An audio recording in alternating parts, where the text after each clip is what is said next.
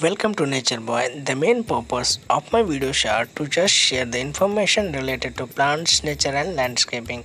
In this video, I am going to show you how to control yellow vein mosaic virus which is most devastating disease in the Bhindi. So without any further delay, let's move on the video.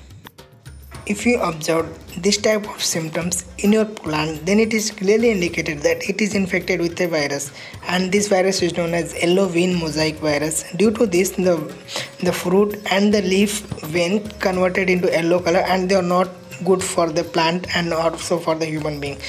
And this disease is transmitted by whitefly. So, in order to stop it immediately, we have to uproot the plant immediately without any hesitations and we have to keep this away from your field or we can throw them away or also we can burn it. As we know that it is impossible to cure the plant which are infected with the virus. So we have to select the resistant varieties which are resistant to particular virus. So some uh, important resistant varieties are arka abhay arka anamika Parbhani Kranti, Janardhan, Harita, etc.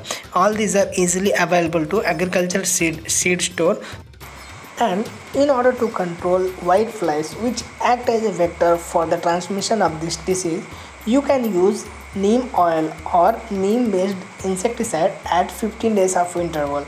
This will prevent the attack of white flies on your plant. And also you can use a crop barrier which do not allow the transmission of white flies from one field to another field. And this plant is not severely affected. So i'm just pruning the entire leaf and after that i will feed the plant with nitrogen rich fertilizer so that the new leaves which will come that may be healthy. Just i am trying it and i am not sure about that. And if it is successful i will update in the next video so after pruning, collect all the pruned part of the plant and discard it away from the field or burn it. Do not keep it in the surrounding because there will be chances for the spreading of the disease. So thank you for watching till the end.